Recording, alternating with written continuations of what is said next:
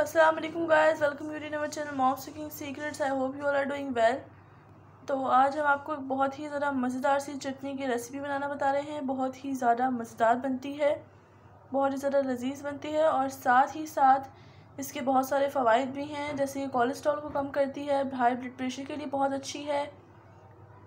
और भी इस तरह से बहुत सी चीज़ों के लिए ये चटनी बहुत ही ज़्यादा बेनिफिशियल है। तो इस चटनी को आप लोग बहुत ज़्यादा बनाएँ ट्राई करें, आप लोगों को बहुत पसंद आएगी और आपके घर में भी सबको बहुत पसंद आएगी।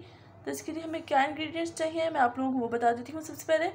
यहाँ पे हमने ज़ीरा लिया है, धनिया लिया है, सूखा धनिया। सूखा धनिया जो है हमने पाउडर फॉर्म में नहीं लिया, हमने जो है साबुत लिया है।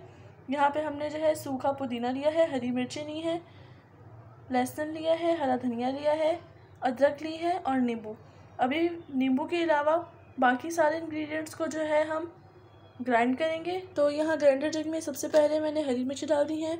उसके बाद मैं ग्राइंडर जग में हरा धनिया डाल दूँगी और बाकी सब इंग्रेडिएंट्स भी।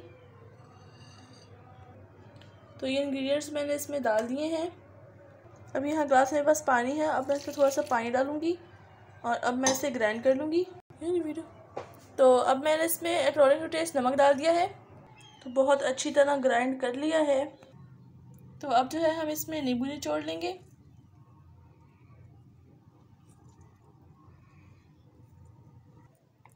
और इस चटनी को जो है आप लोग टिक्का वगैरह के साथ इस तरह भी ले यूज़ कर सकते हैं, इस तरह से भी इसे इंजॉय कर सकते हैं। और अगर आप चाहें तो इसमें दही मिक्स करके इसका रायता बना के भी खा सकते हैं। और इसे जो है आप क्यूब्स में फ्रीज़ भी कर सकते हैं और एक महीने तक इसे फ्रीज़ करके यूज़ भी कर सकते हैं। और अभी मैं आप लोगों को इसका रायता भी बना के बताती हूँ। तो यहाँ पे दही को अच्छी तरह से फेंट लिया है और इसमें जो है हम दो तीन चम्मच चटनी के डालेंगे। तो ये देखें, बहुत ही मज़ेदार रायता भी बन के तैयार है। तो ये बहुत ही मज़ेदार रायता और चटनी दोनों बन के तैयार हैं और बहुत ही ज़्यादा मज़ेदार होती है। जायका भी बहुत ही ज़्यादा बेहतरीन होता है। एक बार घर पे बना के लाजमी ट्राई कीजिएगा। मुझे उम्मीद है कि आप लोगों को बहुत ज़्यादा पसंद आएगा और आप लोग एक बार खाएँगे तो फिर बार बार बनाएँगे इसे।